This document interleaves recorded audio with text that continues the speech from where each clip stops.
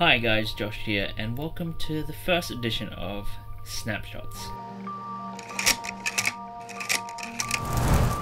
Basically, what Snapshots is going to be is it's more of a, a kind of quick tips for beginners and essential information that you kind of need if you're starting out your film photography journey. And so today we're going to tackle some very important information you need, especially if you're going from digital to film, and that is what is ISO and what is pushing and pulling. Essentially, what ISO ASA is is basically just the sensitivity of your sensor, which can either be digital or film, and its sensitivity to light. With film, the lower the ISO is, the finer the grain, but obviously you have to usually shoot bright sunny day or somewhere with more light with flash. But with the higher the ISO, there's going to be more grain. But what that means is you can shoot at night and inside in, in more underlit circumstances. And one thing a lot of people seem to get confused by is film cameras where you can select your ISO because there's a light meter in them.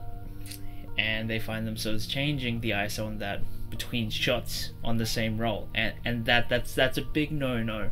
No, no, no, no, no, no, no, no, no, no, no. Because your film stock only has one speed. This Portra 800. It's a 800 ISO film even if you change that on your camera from 800 to 1600 to 400 that doesn't change what this film is. What's that changing is what your camera is metering that film as. But what you need to know when shooting film is, yeah, you just have one set ISO for that whole roll. And the only way you can change the ISO is through methods of pushing and pulling, which we're about to get into. But the thing is, that changes every image on the roll. So doesn't matter what you do, if you're shooting film, stick to one ISO. Doesn't have to be what's on the box speed, but the box speed is there to get the most ideal middle gray when in, in the most ideal lighting circumstances. And really, uh, right now in the market, you can get film that ranges from 6 ISO to 3200 and there's heaps heaps of different options out there. Just because the film is set at that box speed doesn't mean you have to shoot at that box speed. And so now that we've kind of got ISO kind of taken care of I'm gonna get into pushing and pulling. Pushing is definitely the more popular of the two processes but they both have their benefits their negatives and their reasons for doing it. And basically what pushing and pulling is it's not so much about the film but it's about the development of that film if you're pushing a film, you're kind of developing it for longer, and if you're pulling it, you're developing for shorter. And you're doing this because either you weren't in an ideal circumstance in regards to light, so you need to brighten up your film or lower it, or you want more contrast or less contrast. And we're going to get into that in just a second. So let's say I was shooting at night, I only had a roll of Tri-X but I wanted to take some photos still. So I could make the decision to push that roll of film. So let's say I set it at 3200. What I'm doing is I'm underexposing the film because it is a 400 ISO film.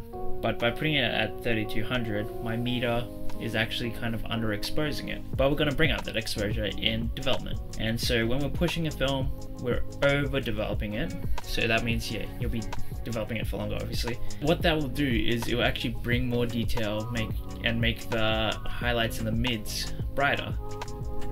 But if the information's not there on that film, like in your shadows, where where the blacks are, you're not going to get more information out of where there is no information. And so basically your blacks are just going to get darker, your highlights, your mids are going to get brighter, and that creates more contrast. And so there are benefits to that because obviously sometimes the light's not always ideal, so you can get a brighter image from a low ISO stock. Or if you honestly just wanted more contrast, also when you push film, it gets grainier from the overdevelopment. So that's that's one thing you need to remember. Is not only is the ISO going to be higher, but yeah, the is going to be more pronounced. That can be a negative or a positive, depending on what you're looking for. So that's what essentially pushing is. So now we're going to get into pulling, which is the opposite of that. So with pulling, you're underdeveloping the film.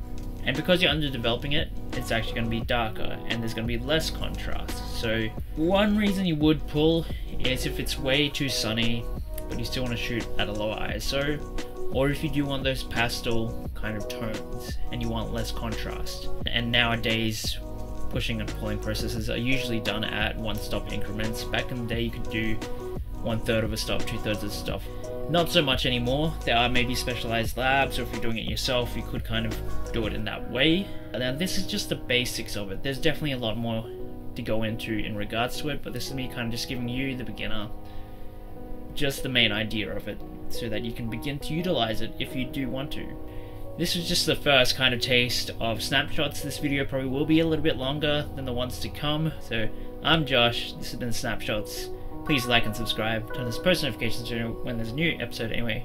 Just get out there, shoot some film.